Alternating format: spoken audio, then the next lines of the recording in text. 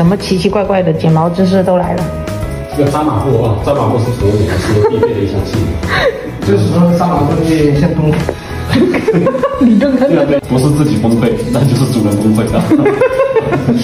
也不是有句话嘛，叫台上一分钟，台下。